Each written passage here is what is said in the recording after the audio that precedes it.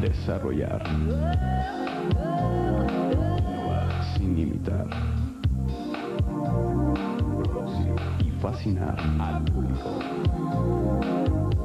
Estimular tu visión. Mi canal se prende. Se prende.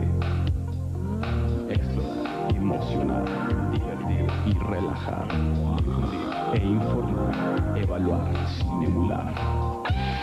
Televisión Azteca.